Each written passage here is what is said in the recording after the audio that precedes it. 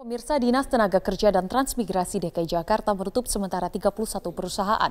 Penutupan dilakukan karena adanya pekerja yang terpapar COVID-19 serta perusahaan terbukti melanggar protokol kesehatan di lingkungan kerja. Dinas Tenaga Kerja dan Transmigrasi DKI Jakarta telah melakukan pengawasan terhadap 3.177 perusahaan dan perkantoran.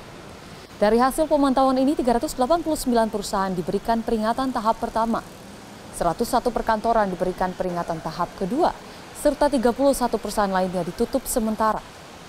Kepala Dinas Tenaga Kerja dan Transmigrasi Provinsi DKI Jakarta Ardiansyah menjelaskan, penutupan dilakukan karena adanya pekerja yang terpapar virus COVID-19 atau perusahaan terbukti melanggar ketentuan protokol kesehatan di lingkungan kerja.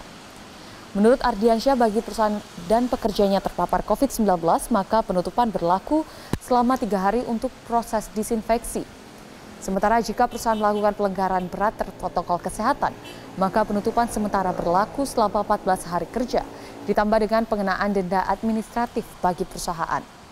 Jika perusahaan terus melakukan pelanggaran, maka pemerintah akan mengambil tindakan tegas dengan mencabut izin usaha.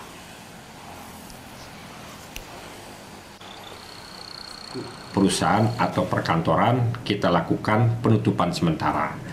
Kenapa kita lakukan penutupan sementara?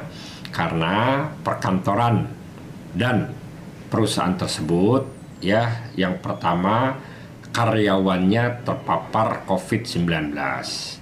Ya, yang kedua karena perusahaan atau perkantoran tersebut ya tidak mematuhi protokol COVID-19 yang tertuang dalam SK Kadisnaker Trans dan Energi nomor 1477. Nah jangan lupa untuk subscribe YouTube channel Metro TV News dan juga nyalakan notifikasinya.